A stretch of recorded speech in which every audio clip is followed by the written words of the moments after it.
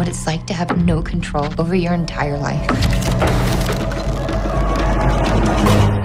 I do.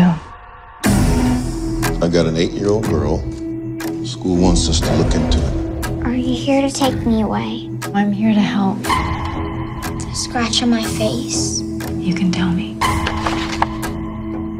I didn't get it from a fall.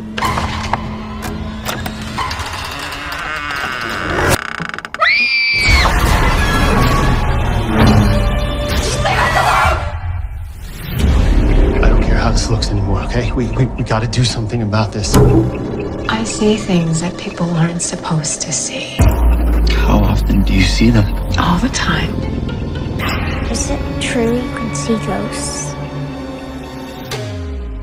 You have to go. You have these walls around you.